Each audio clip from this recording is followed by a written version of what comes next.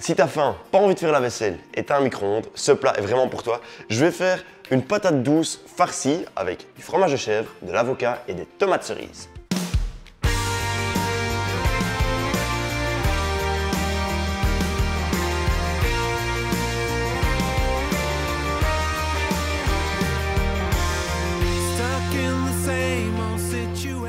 Et je commence par faire des petits trous dans la patate douce, sinon ça pourrait exploser.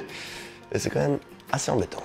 Ensuite, je vais badigeonner la patate douce d'huile d'olive et puis la mettre 10 à 12 minutes au micro-ondes. Mais ça peut être un peu plus longtemps, ça dépend de la patate douce et du micro-ondes.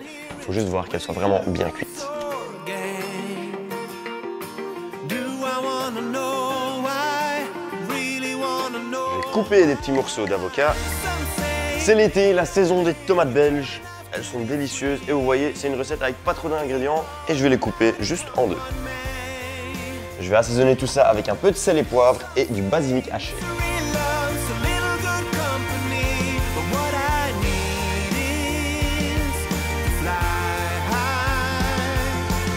La patate douce devrait être prête.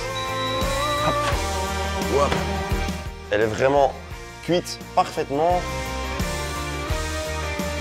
Je couper là-dessus et puis la vider. Et comme vous pouvez deviner, je vais farcir la patate douce avec un peu de fromage de chèvre, de l'avocat, la patate douce et les tomates. Et comme ça, vous allez avoir une patate douce farcie vraiment super bonne.